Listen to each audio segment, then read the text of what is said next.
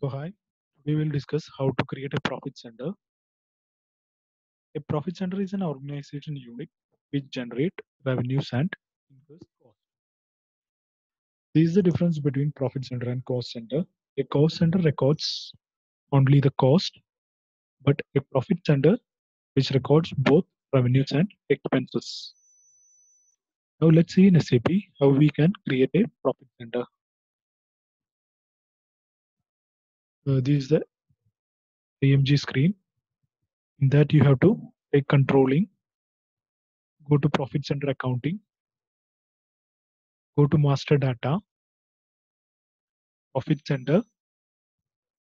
Here you can see define profit center. Create profit center. I will create a profit center ALL 0, ALL 05. Then click on master data.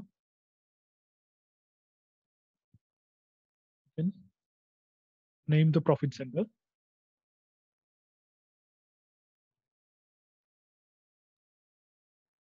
And here profit center for LLO. And we can give the person responsible. And we have to give here the profit center group. Profit center group is same as the standard hierarchy. This is the standard hierarchy which I have created. Now to activate this, we will click Shift F1. Okay, you can see here profit center ALL05 has been created. I think you understood this concept. If you like this video, please subscribe my channel and share.